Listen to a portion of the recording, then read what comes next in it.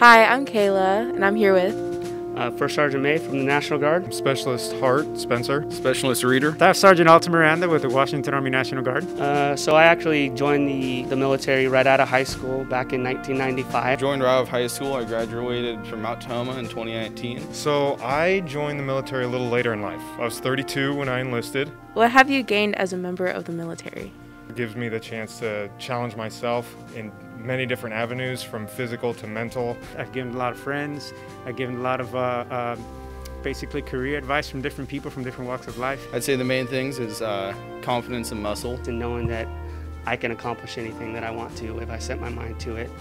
What does Veterans Day mean to you? It's a time for us all to reflect, think about uh, those who came before us in all aspects of life, but primarily within the military family. It's not just for people that currently serve, but it's also for uh, you know the people that did serve and they didn't completely come back from the place that they went. Uh, to let the general public know that the freedoms that they have today, uh, your ability to do the things that you do on a day-to-day basis was because someone paid the, either the ultimate price or paid a price in sacrificing their time, talent, and treasure uh, to be able to protect your freedoms. Do you have a message for our students? Enjoy high school, and then after high school, uh, keep your options open. Keep dreaming big, have an amazing attitude, and have stellar work habit.